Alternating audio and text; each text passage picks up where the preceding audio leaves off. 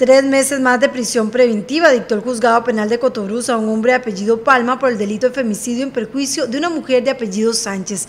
Los hechos ocurrieron en agosto de 2019 en la zona de Agua Buena de Cotobruz, en la casa de la pareja. Se presume que el hombre empezó a discutir con la ofendida y al parecer tomó un arma blanca para herirla mortalmente. Durante la presunta actuación del imputado se encontraban tres personas menores de edad, hijos de la víctima. Tras lo sucedido, Palma confesó lo que había ocurrido, por lo que fue detenido por oficiales de la fuerza pública.